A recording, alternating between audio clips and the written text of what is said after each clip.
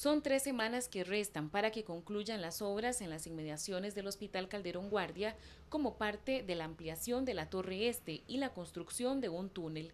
Los cierres totales mantienen colapso total, sobre todo en horas pico.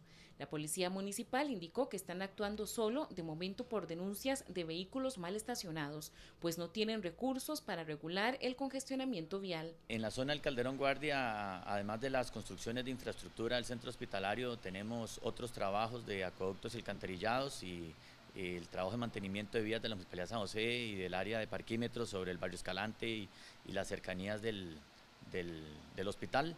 El recurso de Policía Municipal de Tránsito eh, difícilmente podrá estar de manera permanente en estas zonas y lo que se están atendiendo con prontitud son los llamados eh, que entren a través del 911 por vehículos mal estacionados o por camiones mal estacionados que retarden el tránsito y que obstruyan la vía. Nos mantenemos en comunicación con la Policía de Tránsito. Ciertamente ni la Policía de Tránsito ni la Policía Municipal tenemos los recursos, como reitero, para tener personal permanente eh, y las regulaciones que realizamos en la zona son a través de la denuncia que entre por las líneas de emergencia. Las presas están dificultando el acceso de vehículos de emergencias que transportan pacientes.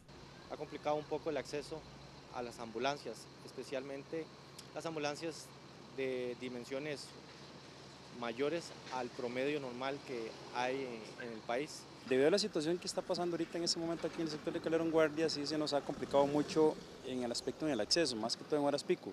Por ejemplo, hace unos dos días atrás trasladamos a un paciente en condición verde, o sea que no tenía este, grave en su salud, a la clínica central y básicamente tuve que bajarme los 100 metros para poder ingresarlo caminando.